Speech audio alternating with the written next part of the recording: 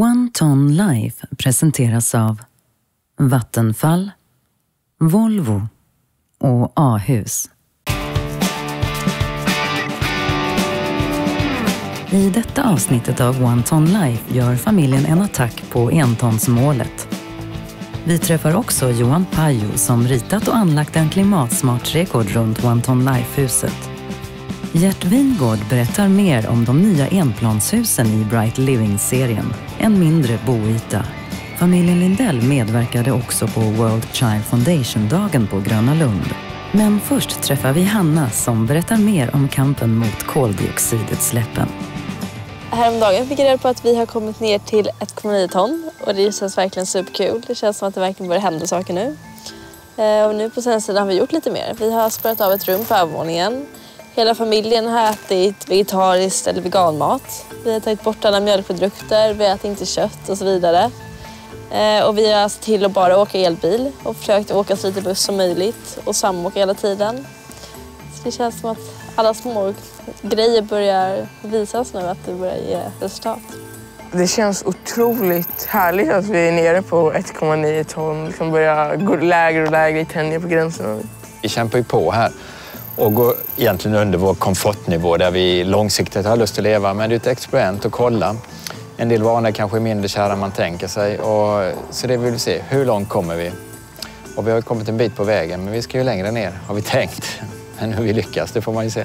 Barnen knorrar ju lite, särskilt Jonathan som är köttätande tonåring. Då.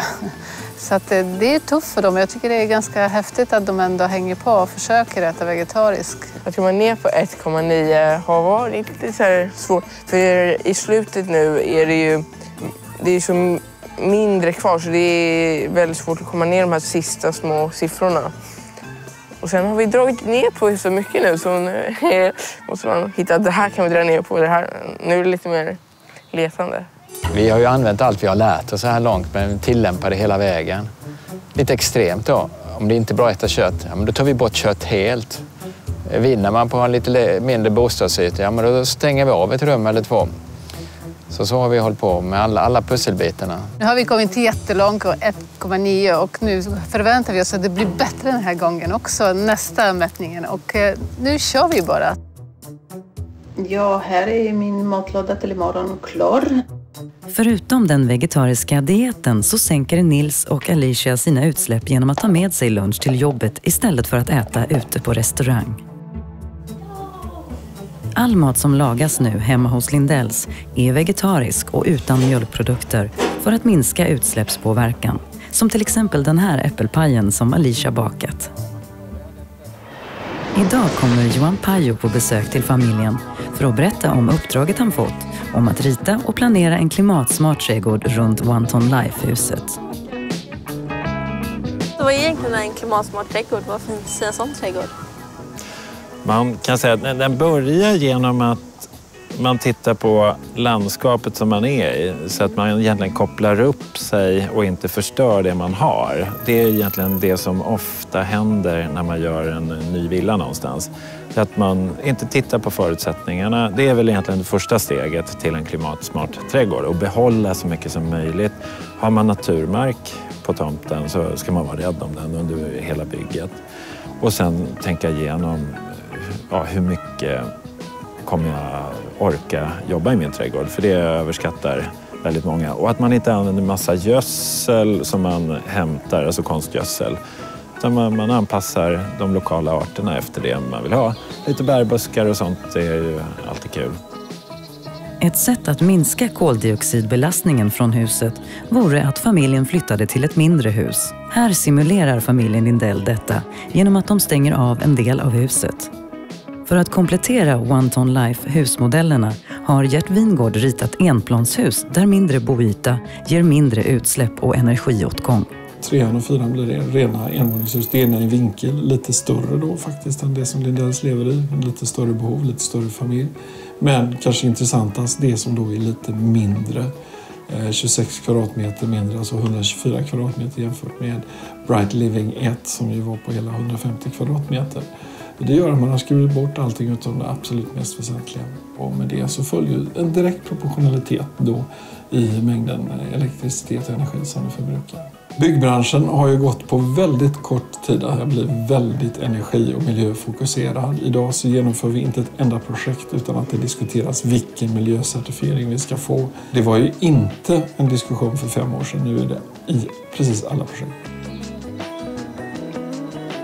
När One Ton Life-huset producerar mer solenergi än vad de gör av med går överskottet till Vattenfall via det gemensamma elnätet. Ju mera sol, desto mindre blir familjens koldioxidbelastning. En sån här dag när solen lyser så känns det ju extra gott. Förutom att man njuter av utomhusvädret så vet vi att, att det ger ju överskott här i solpanelerna. Så det kanske går till den grannen eller till den grannen som eh, slipper ta el någon annanstans ifrån för det här huset ligger och försörjer.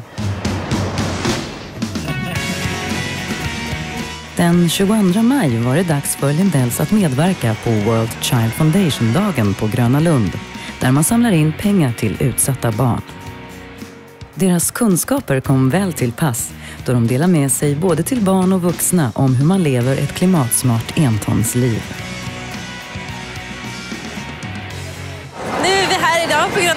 Och hjälper till i Charliedagen. Nu står vi här vid Volvo och har berättat om bilen och det finns även småbilar som bara kan prova på att köra. Så det är jättekul, det är massa som händer, massa folk, alla frågar saker och vi är bara här för att hjälpa till att berätta. Det som många undrar över är just maten och eh, dess klimatpåverkan. Och vi har fått ganska många kluriga frågor så man märker ju att, att många har de här tankarna i huvudet och liksom känns väldigt bra att kunna vara här och prata om just det och försöka ge svar. Alltså det är så himla roligt att familjen har kunnat vara med idag också. De har stått här i vårt tält i nästan en timme och de har pratat och det har kommit alltså, så naturligt för dem så det känns verkligen att de lever det här nu. Vårt halvår One Ton Life eh, har gett oss eh, faktiskt en del kunskaper. Det är så kul att kunna berätta om det för särskilt ungdomar eh, och andra också. Att berätta om våra erfarenheter och vad vi kan och vet. Det vi lärt oss i One Ton Life funkar jättebra att berätta för folk. De konkreta upplevelserna, det är sånt som intresserar. Vecka 19 var Lindells nere på ett ettonsliv på 1,9 ton per person och år. Nu ska vi träffa Lars Ejeklint som berättar om veckan som gått, som har varit den extremaste. Ett och ett halvt ton. Det är ett fantastiskt resultat som familjen uppnådde under förra veckan. Och då har de verkligen ansträngt sig. Grattis familjen Lindell! Ett och ett halvt ton. Bra!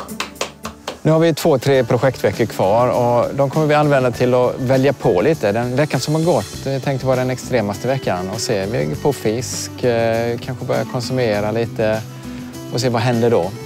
Eh, så det är vad vi kommer att göra. Och det blir ny, förmodligen en ny komfortnivå då. Nu har vi förändrat ganska mycket med maten, vegankost. Vi har stängt av en del av huset, eh, tv-rummet. Det ska vi tagit bort. Vi tar med oss matlåda, vi äter vegetariskt vi samåker mer. Eh, vi får se om vi fortsätter en vecka till för att se eh, hur det funkar. Men annars så har vi tänkt att vi lägger på lite grejer. Kanske ta tillbaka fisken och se hur påverkar det. Nu ska vi liksom hitta på något sätt tror jag, lite rätt balans. Vad är, hur lever man så klimatsmart som möjligt men fortfarande ha ett normalt liv som man tycker är bekvämt? Och i nästa avsnitt så kommer miljöministern hit, vilket är jättekul och det är även flera andra som kommer.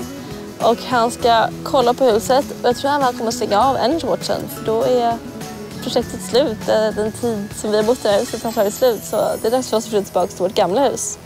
Så då kommer vi förmodligen jämföra mätningarna från det här huset från de nya mätningar som kommer från när vi kommer bo i vårt gamla hus nu. Men stanna kvar och kolla för jag tror att det kommer bli jättespännande. Nästa avsnitt av One Ton Life kommer den 17 juni. Vi ses då!